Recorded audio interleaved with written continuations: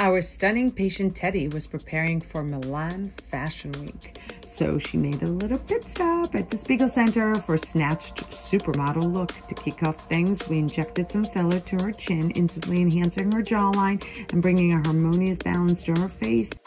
Then added a touch of temple filler, providing a subtle lift that refreshed her appearance. Next up was cheek filler to sculpt and define her face, emphasizing her natural features.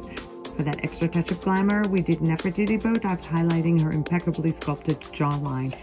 Watch as I add a little bit of chin Botox. This will smooth away any trace of dimpling for a flawless finish. And as a final step, we injected Botox to her forehead and crow's feet, acting as a proactive measure to maintain her youthful radiance.